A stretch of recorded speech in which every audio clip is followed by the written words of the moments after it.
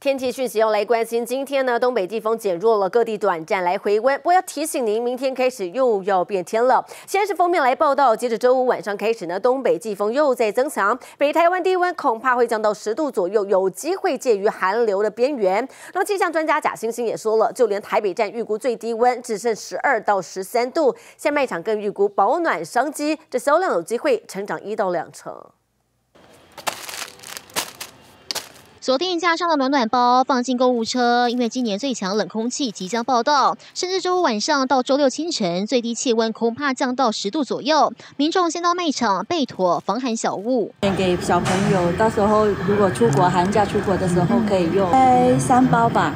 冷空气就要杀到，可能达到寒流边缘，民众抢先做好御寒工作。不止国内，出国追雪时也用得到。卖场透露，近期像是暖暖包、手套、围巾等保暖小物销售持续成长，与往年平时相比，成长一到两成，就怕不小心着凉。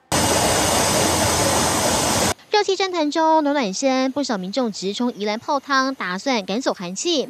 看看周四中午前后，封面快速抵达，干冷空气接着南下。周五晚上到周六以及周日清晨，部分沿海和平地最低温将降到十度左右。这波冷空气强度比上一波更强，恐怕达到寒流等级。我们预计周末各地的低温在北部以及中部，还有宜兰可能会来到十一到十四度左右。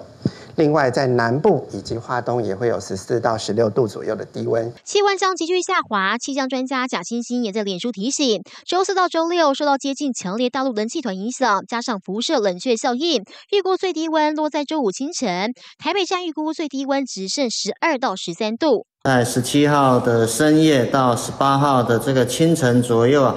在苗栗以北沿海空旷地区，还有一些谷地啊，可能会出现接近十度或十度以下的低温。周五气温骤降，接连几天恐怕迎来十度有感降温，提醒民众提前做好万全的保暖工作。记者有阵雨，新小组台北什么的。冬天想要吃锅来暖胃，但是担心这餐厅饭店价格太高，很伤荷包。或许呢，现在也可以来锁定超商量饭店，因为最近相继推出了个人即食锅要来抢市，甚至不约而同搭上的是米其林的话题，包括像是有姜母鸭，还有麻油鸡补气鲜香，另外也有北海道浓郁的石寿锅，都很受到欢迎。